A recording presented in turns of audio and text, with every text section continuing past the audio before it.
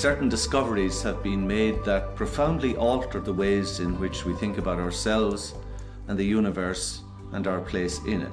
And just such a discovery today is the phenomenon of orbs.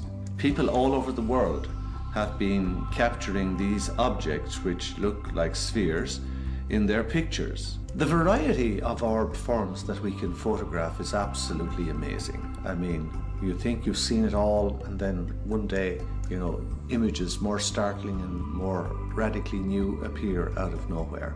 And people who have treasured terms such as soul and spirit and the life beyond and paradise and heaven have much to rejoice in because now we are beginning to get a glimpse into realities and dimensions that enable us to put a marvelous understanding into those realities which was never possible for us to do before. Because with the orb phenomenon for the first time, we're beginning to have an access that any person on this earth, even a child, can do.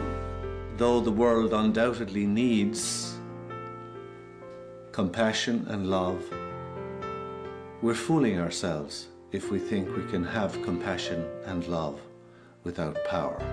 And by power, I do not mean power over others, but power over myself, so that I'm no longer at the mercy of my crippling emotions and limitations. There is much more to you and me, but we have hypnotized ourselves into believing that that is all that there is. That is the permanent message of the orb phenomenon.